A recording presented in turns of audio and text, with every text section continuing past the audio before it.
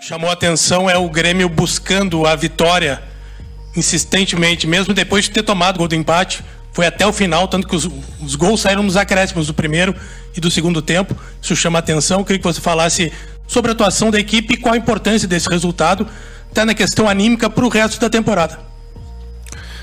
Bom, bom, você Boa noite. E você ganhar um Grenal é um Grenal. É sempre um campeonato à parte, com todo o respeito, né? É uma partida, mas é sempre tem aquela rivalidade, né? Entre as torcidas.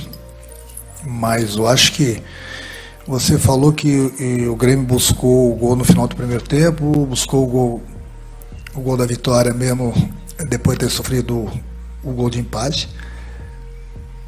O Grêmio buscou o gol os 90 minutos o tempo todo. Eles saíram no, nos acréscimos, mas o Grêmio durante os 90 minutos jogou para ganhar. Eu acho que a gente tem que valorizar, vocês da imprensa também, o Grenal foi um Grenal pegado, um Grenal disputado. O Grenal é assim mesmo. Acho que tivemos uma festa bonita na, nas arquibancadas. Antes mesmo de começar a partida, eu já havia alertado meus jogadores quanto a isso, que conversei com o Mano também lá dentro do campo eh, para que a gente fizesse um bom Grenal, independente de, de quem vencesse, que a gente pudesse proporcionar um bom futebol.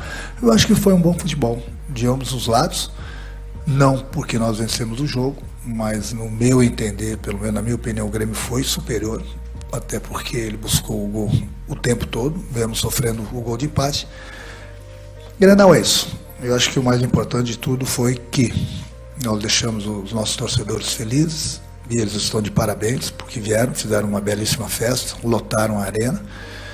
Isso tudo, os culpados, entre aspas, é o meu grupo, que eles têm jogado bem o ano todo.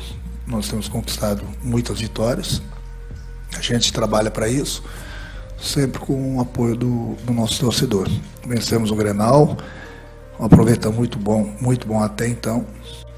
Folga amanhã, Terça-feira a gente volta aos trabalhos já pensando no jogo do final de semana.